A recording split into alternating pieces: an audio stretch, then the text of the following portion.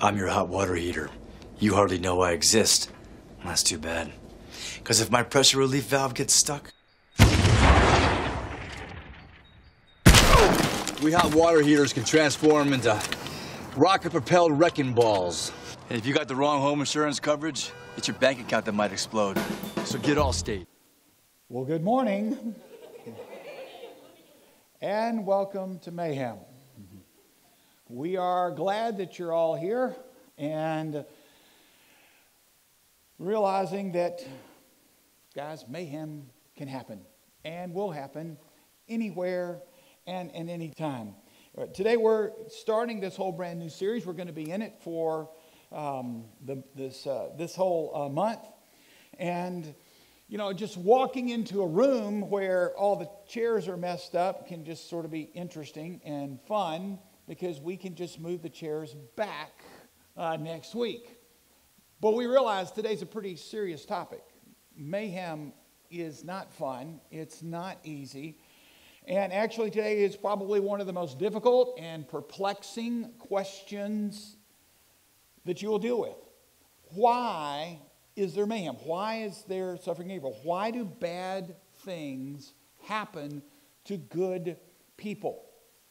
And if you're not grounded here, guys, this can rock your world. I remember I went to my 20th high school reunion a number of years ago, and um, I'm talking to this woman, I'll call her Mary, um, and where I have not seen this woman in 20 years. Um, and she's married, and we're talking about work and all this other stuff. And then she asked me, What do you do? And I said, Well, I'm a pastor. And her face just went cold. It's interesting the responses you get when you tell people you're a pastor. And I said, Is everything okay? And she said, Actually, no. It was very sharp. She said, A number of years ago, my first child died hours after childbirth. And I want absolutely nothing to do with a God who would murder my innocent baby or anybody who represents him. And she turned and walked away. She was angry, she was bitter, and this had been years before. She's looking and going, you know, my baby didn't do anything. Why would this happen? Now, maybe for some of you this morning, the whole issue of why do bad things happen to good people is just a perplexing question. But for some of you here, this is an this is a question that eats at you. It rocks you, like my friend Mary. There are a lot of people, and I've talked to a number, who the number one stumbling block for them becoming a follower of the God of the Bible is the fact that they're suffering and evil and bad things happen to good people. And all you got to do is open your eyes and you see it all over the place all the time. I mean, just, just last Sunday, you had uh, the terrorists that went in uh, to Pakistan to a bunch of folks having a just a, a picnic, and they, they killed 70 plus people, most of them women and children, just and targeted Christians. There's the bombing in Brussels. Over and over again, we see the ravages of sin and suffering and evil. And you go, God, why? It's, it doesn't seem fair. Guess what, guys? It's not. Life is not fair. Parents, one of the most important lessons you can teach your kids life isn't fair. Some people are born to multimillionaires, some people are born to peasants or, or starving beggars in India or Indonesia or Africa. So, today I want you to listen carefully. If you never take notes in a message, I encourage you to take them today because you're going to run into somebody three, four weeks, six weeks, two months down the road who are asking this question Why did this happen to me? Why did, the, why did God let this happen? And you need to be grounded. But more than that, you're going to face this at some time. And you're going to be the, the asking this question why God? And the way you answer it and the way you handle it will greatly determine your relationship with God. You see, pain and, and trials and difficulties can either drive you away from God, like it did my friend Mary, or it can drive you to God, your source of comfort and strength. So you need to have some anchors down on this whole issue and topic. So, but today I want to focus not on generally, but on you. Why do bad things happen to you? And what we're going to talk about this morning is that there's two basic options of why bad things have happened. And then we're going to talk about three truths about God that you need to know when mayhem hits. So you got that? Two reasons, three truths about God. So let's dig in. If you have your Bibles, um, you can turn with me to John chapter 16, verse 33, or you can look at it up on the screen. And Jesus said this I have told you these things. And by the way, I didn't put the whole passage in front of it, but what he's talking about, he said, guess what? Bad things are going to happen. You're going to be persecuted. People are going to come after you. Some are going to seek to kill you, think they're doing God a favor. So a lot of bad things are coming. He goes, So I've told you these things so that in me you may have peace. Now, I want you to think about it. I don't know about you, but when I have somebody tell me some really bad things are going to happen, I don't normally feel a lot of peace. I feel just the opposite. But Jesus said, I'm warning you, I'm letting you know this is going to happen so that in the midst of it, you can have peace. In this world, you will have trouble. But take heart, I have overcome the world. Now, guys, here's my goal for you this morning. I want you to be able to experience and know a deeper level of peace in your life when mayhem hits, when things don't go well at all. I want you to be able to experience this peace. I want you to have some answers and know truth. Because again, what you believe about this makes a huge difference. So, the first option is this maybe you are the victim of a broken world. Maybe you're the victim of a broken world. Now, this morning, I, I, don't know for sure. I don't know exactly what everybody here, what you believe about God or creation or Adam and Eve, but whether you're a Christian or a non Christian or spiritual or not spiritual, I think every one of us in here would agree we live in a broken world. Amen? All right. We live in a really broken world. There's a lot of messed up stuff, and people are the blame for a lot of it. Now, the world is broken because of sin.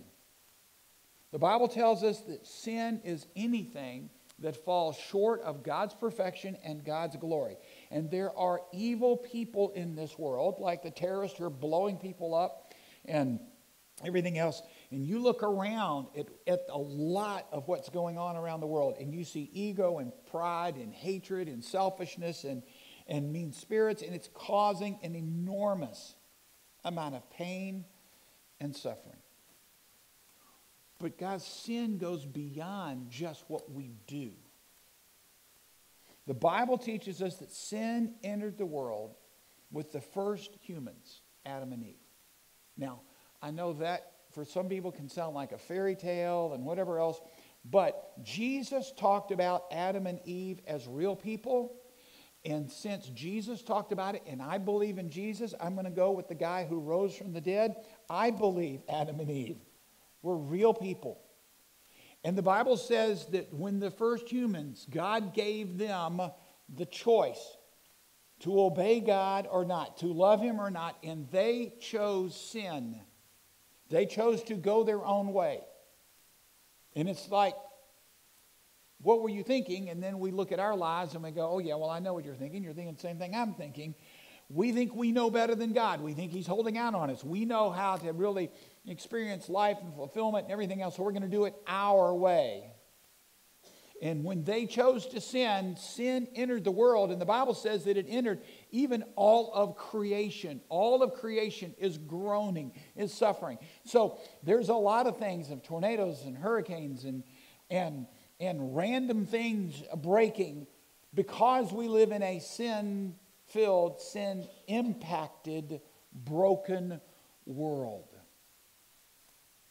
So, all of creation is impacted to this. And maybe the reason you have experienced something bad happening is that you are simply a victim. And I don't even like the term victim because there's a victim mentality around. But you're a victim of a, of a broken world. You know, I've gone through a lot in my life where I didn't have anything to do with what happened bad.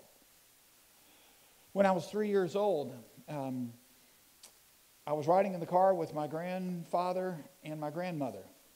And this, by the way, guys, some of y'all don't even realize this. In the dark ages, they let kids ride in the front seat. They didn't know any better. Some of y'all actually may remember that. They didn't even have seat belts. My grandfather is coming up over an overpass and he has a heart attack. He slumps over the wheel and the car goes off an embankment and starts to roll. My grandmother wraps her body around mine as we're banging around in there, and she dies in the accident. My grandfather dies six months later from a broken heart because he always said, I killed my wife, and from the complications.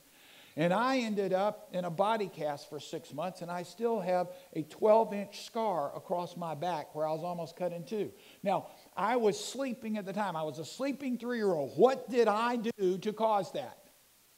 Nothing. I was a victim of a broken world where there are things like heart attacks and car accidents. guys, you have been a victim of this broken world. And there are so many people with false ideas about this. In fact, the entire book of Job deals with this issue in question. Bad things start happening to Job like crazy, and he's got three friends, and with friends like that, who needs enemies, who keep telling him over and over and over, it, has got to be you. If bad things are happening, it's because you've sinned or somebody else, it's probably you. And some of you are going through stuff right now, and you're going, What did I do wrong? What, why did, how did I miss this? What, why is God punishing me? I must have sinned, or somebody else must have sinned, et cetera, et cetera. And the whole book says, guess what? No, Job was a righteous man. We live in a sinful, broken world, and we have an enemy, and his name is Satan. And he's real, and he's alive, and he wants to steal, kill, and destroy you. And you may be a victim of a broken world.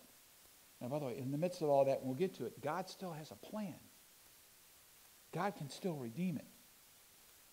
But I want you to get over this. Everything that happens, it must be because of something you did at some point in your life. Or God just must not care. Or it was just fate. If you want to blame someone or something, you can blame this sin filled, broken world. And I'm not immune from it, and you're not either. Jesus tells us in this world, you will have trouble. Maybe you're the victim of a broken world. Or there might be another reason. Number two, maybe you brought it on yourself. maybe you brought it on yourself. You know, now we don't like to hear about this one. But you see, the problem with sin is it not, it's not just out there, it is also in here. In the book of Galatians, the Apostle Paul wrote this to them, and he said in Galatians 6, 7, uh, 7 and 8, Do not be deceived, God cannot be mocked. And by the way, there are a lot of people who mock God. They say, Well, I'll go to church and I'll, I'll go to confession or I'll tell God I'm so sorry, and then I'll turn around and just keep living the same old way. Uh, God's not fooled. Do not be deceived. God cannot be mocked. A man reaps what he sows. Whoever sows to please their flesh, from the flesh will reap destruction. Whoever sows to please the Spirit, from the Spirit will reap eternal life. Now, Jesus is using a farming analogy because he's speaking to an agrarian society. They all understood farming, and even though most of you have never farmed a day in your life, you can understand this analogy. When you plant wheat, you don't expect soybeans to come up. Some of you are planting tomato bushes, you don't expect to go out and see bananas one day. And Jesus is saying, what you sow, what you plant, is what you're going to reap. And the same is true of the flesh. And the flesh refers to that sinful or messed up or foolish, selfish part of us that when God says go this way, we go, no, I think I want to go that way. That's the flesh. And all of us will battle the flesh. So we've got to be honest. And we got to say, a lot of times the problems we're in facing is because we bring it on ourselves. In fact, we could just have a whole testimony time right now. Because everyone in here, you know of some decisions you've made that have messed you up some. And, and you brought it on yourself. When I was a teenager, I was, um, I, I loved, I still do, anything with adventure and excitement and everything else. And I really got into a lot of outdoor uh, kind of sports and hiking and backpacking and spelunking and, and rock climbing. I loved rock climbing. Um, and I said there's a special thrill about being on a like a, a one inch ledge 200 feet above the ground. Um, it also built my ego because I was really good at it. Um, and that always, you know, you always tend to like what you're good at. And, and a side note of that, it helped, is I was 6'3 and weighed 135 pounds. Um, so there was a long reach and not a lot to have to uh, hold up. But I got cocky and arrogant. Never happens to any of you, I know. But I'm walking with a friend where I and we see a little 40 foot cliff, which we thought was nothing. And he goes, I bet I can beat you up there. And I said, Not a chance. And we both picked our routes. I got up 20 feet up there and I grabbed at a place that came loose in my hand and I back dove down 20 feet and landed on my head and messed my neck up for the rest of my life. In fact, I almost died. And I could go, Oh God, why did this terrible thing happen to me? Because I was an idiot. And I went rock climbing with no helmet, no ropes, no carabiners, none of the equipment that I knew how to use. I was dumb. You see, Nothing like that has ever happened to my wife, Deb, because she would never think of going rock climbing without all the proper equipment. Of course, if you know Deb, she wouldn't go rock climbing with all the equipment in the world. so sometimes we bring things on ourselves. Some of you have dated somebody and you look back and going, oh, what was I thinking? You were an idiot. and you have brought it on yourself. Sometimes we go, oh God, why did I get this speeding ticket? Well, let's think about this. So, why do bad things happen to good people? Sometimes you're a victim of a broken world. And sometimes You bring it on yourself. And, and here's something is an important concept I don't want you to miss. Jesus again is using this analogy. You sow to the flesh, you're going to reap it. Now, a lot of times when you plant and sow something, you don't reap it the next day. And that is a trick of the enemy. For example, well, you sow, but then you reap it later. So let's say you go to a party and you drink a little too much, but you drive home real carefully. You get home, no big deal. You think, I got away with it. It's not a problem. And then two weeks later, it happens again, and you get home, fine. You're reaping something, but not yet.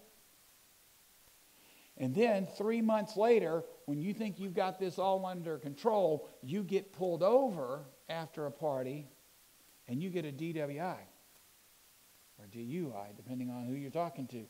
And all of a sudden, you're paying out tens of thousands of dollars in legal fees. You've lost your job.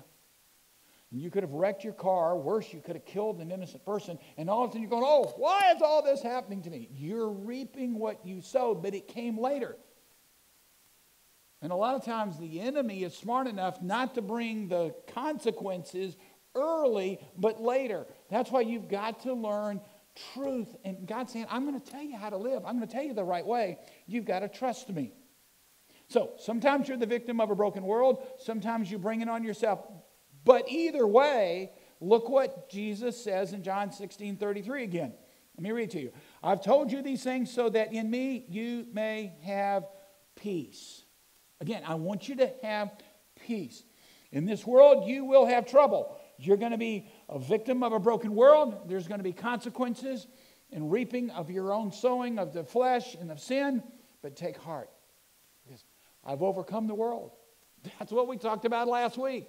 Christ died on the cross and rose again to pay the penalty for our sin, and he has overcome the world. You see, Jesus is the answer both for the broken world and the broken me. And so that's why bad things happen. And here's the bottom line you don't see anything else. Notice this on your outline there. We live in a broken world, okay? But in Christ, we can have peace. We live, you live in a broken world. But in Christ, you can experience and have peace. And that is my prayer for you this morning. And we're going to have a time where we're going to open up the altar where you can come and pray and, and really allow God to give you a supernatural peace. But I, I want to conclude today with a passage from the book of Hebrews, three verses that have three truths that God says you need to know when you're dealing with this. So in Proverbs chapter 4, beginning in verse 13, it says this Nothing in all creation is hidden from God's sight, everything is uncovered and laid bare before the eyes of Him to whom we must give an account. Realize that every one of us, Christian, non Christian, everything else, one day you will stand before a holy God and you will give an account for how you've lived and you'll give an account for what you've done with Jesus Christ. But the first truth is there, he says, it's all, nothing is hidden from his sight. The first truth is this God knows. God knows. He knows everything you're going through, He knows what's happened, He knows the effect of a broken, sinful world.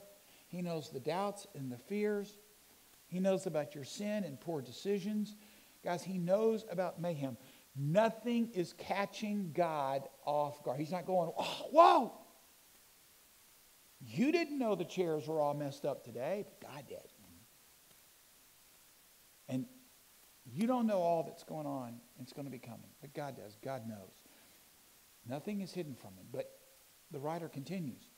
Therefore, because God knows, since we have a great high priest who has ascended into heaven, Jesus, the Son of God, let us hold firmly to the faith we profess. When these things hit and happen, don't go away from God. Hold firmly to Him because He's the only one that's conquered the world. Verse 13 For we do not have a high priest who is unable to empathize with our weaknesses, but we have one who has been tempted in every way, just as we are, yet he did not sin.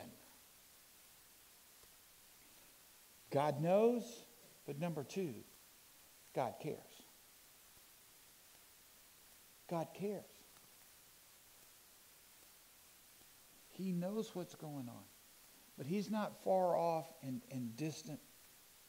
He's saying, I'm the high priest. Now, the writer of Hebrews is writing to the Jews of that day. They understood who the high priest was. The high priest was the priest who was able one time a year to go into the holies of holies and make a sacrifice for the sins of the entire nation. Jesus God Himself became our high priest. But He's been tempted. And by the way, He suffered as an innocent victim of this broken, sin filled world. That's what drove him to the cross. He knows and he cares. As it says, he can empathize with our weaknesses because he understands. He cares. And he has overcome the world. And he is far bigger and far greater, guys, than any brokenness here.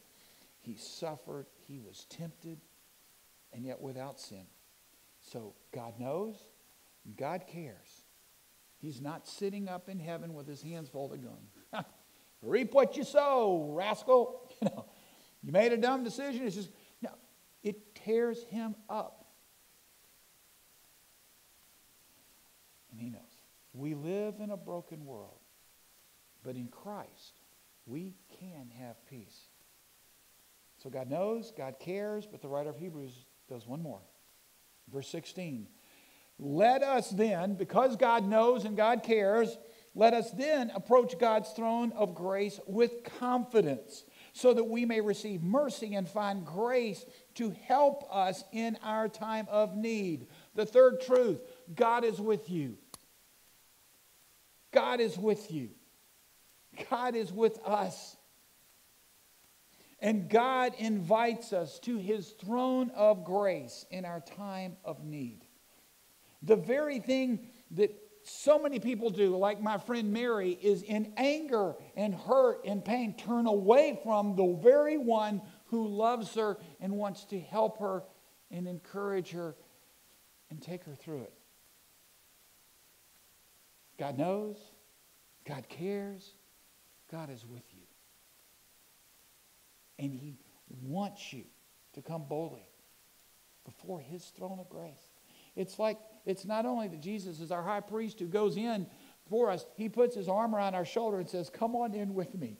You can go into the Holy of Holies and talk to the God of the universe. Now, if you really think through this, I know some of you have thought and said, well, you know, why, God did, why doesn't God just fix this whole broken world? Why doesn't He fix my sin and brokenness? And why doesn't He fix sin and brokenness of the whole world? Guys, He took care of the issue of your sin and brokenness when He died on the cross. And He took the penalty, the full penalty of sin. And He rose again as the first fruits.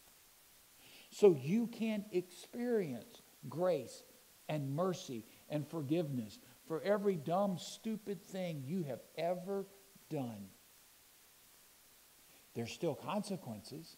I still have a messed up neck. But I've been forgiven and experienced His grace. Your sin can be forgiven now. And guess what, guys? One day soon, God says, in fact, the whole plan of the, the Bible, the redemption is one day I'm going to handle all this sin and suffering. And Jesus is going to come. He's going to split the sky in two. And time as we know it will be done. And all sin and suffering and pain will be done away with. And we can experience Him personally, physically, for all of eternity. So He is going to fix this broken world. And in between now and then,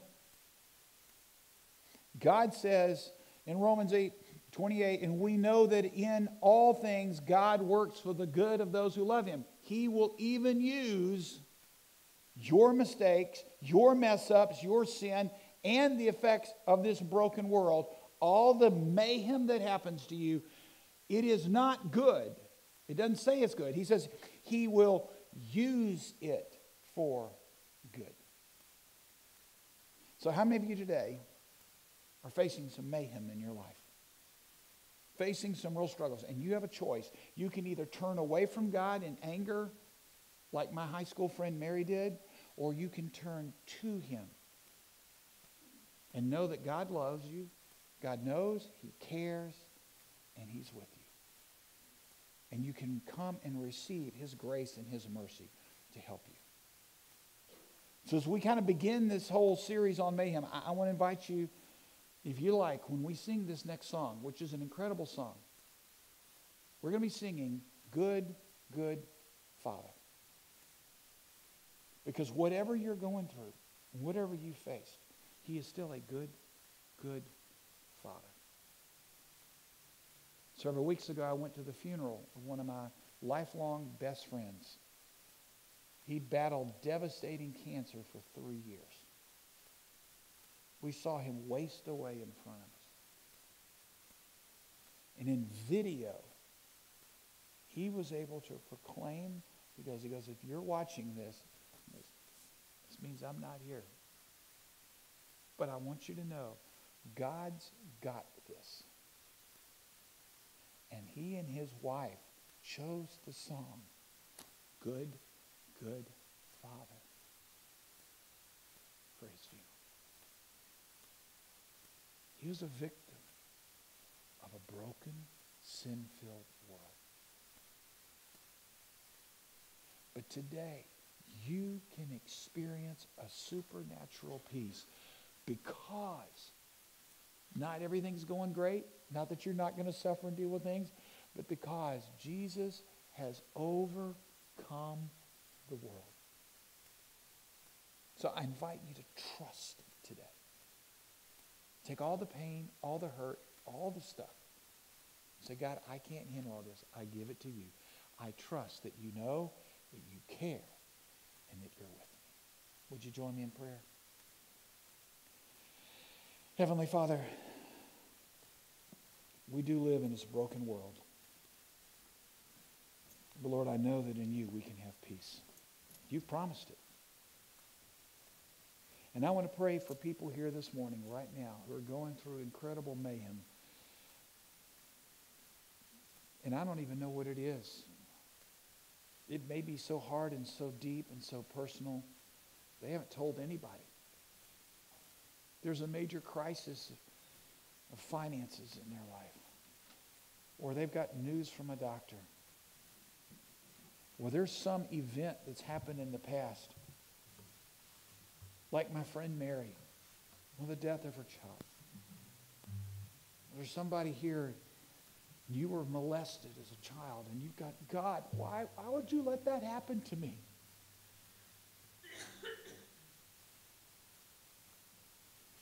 And you're a victim of a broken, sin filled world. And I'm so sorry that that happened. But you can come today and put your faith and your trust in Jesus Christ, who has overcome the world. He said, You can experience my grace and my mercy and my peace. And the Apostle Paul says it's a peace that transcends and is beyond all understanding and all comprehension. In a moment, we're going to stand and we're going to sing Good, Good Father. And if you don't even know the words yet, it's easy to sing. Start, start trying to say those words and proclaim that truth. Maybe some of you who want to come and just kneel at the altar and just say, God, I'm giving this all to you. I can't handle this kind of pain, this kind of stuff. I, I, I've been carrying it too long. I'm going to lay it at your feet. And if you're here this morning and you've never given your life to Christ and really trusted Him, and you're at a crossroads of whether you're going to go your own way and continue that way, or you're going to trust Him and admit that you have sinned and believe in Christ, that He came and lived and died on the cross, and that now you're going to be willing to confess Him as Lord and Savior, let this be that day. Because He's overcome the world and he wants to overcome it so that you experience his peace. Thank you, Father. In Jesus' name, amen. Would you stand with me? And let's sing in worship. Good, good Father. The altar is open. I'm here at the front if anybody wants to pray. Just do business with God. Some of you are still angry. You're upset about something in the